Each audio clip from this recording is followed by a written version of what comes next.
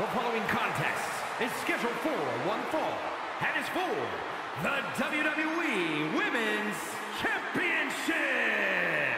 Making her way to the ring, accompanied by Triple H, representing D-Generation X from Redondo Beach, California, the ninth wonder of the world.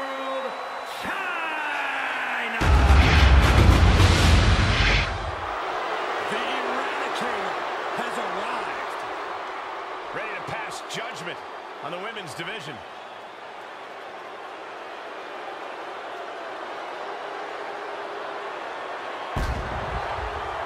And accompanied by Finn Balor, representing the Judgment Day.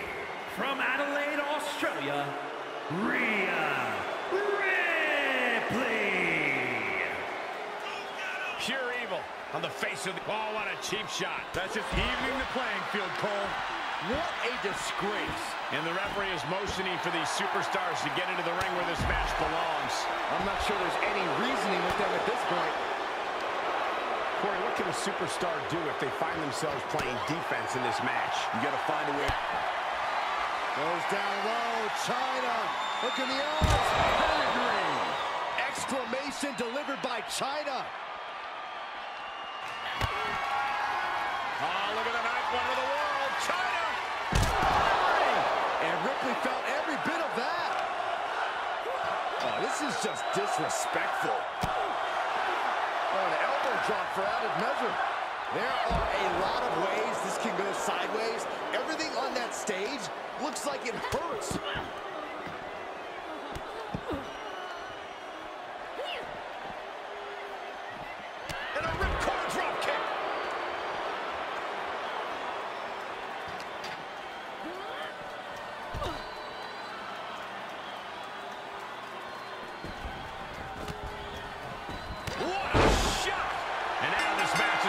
Has officially begun. I'm not even sure the word official is in their vocabulary at this point. I think you're right, Saxton, and I love it. Snap to put an end to things here.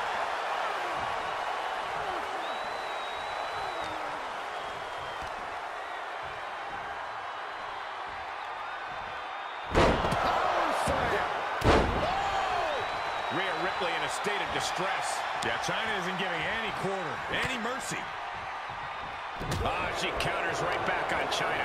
Going counter for counter. Now, can it be capitalized on? oh Reversal. Sequence of reversals there.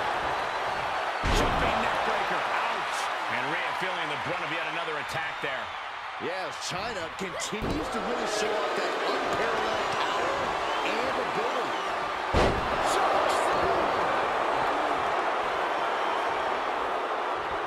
Chyna put a stop to that. Every